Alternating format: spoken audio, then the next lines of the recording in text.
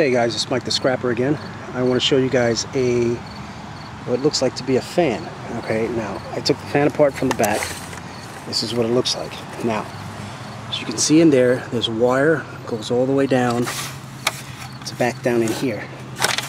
Now looking in here, you can see there's a motor, plenty of wires, and another motor right there.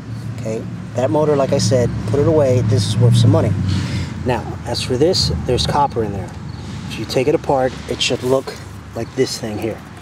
All right, you just clip them off, clip all this, all this uh, nasty string here, and you can clip out the copper and pull it out with a uh, flathead screwdriver. Okay, this here should take me no more than five minutes to take apart, and there's some good money in there. All right, please post on my account. Tell me what you think. I'll try to get as many things as possible so you guys can see what's out there and what you guys might be missing. Alright, so this is Mike the Scrapper signing off. Peace.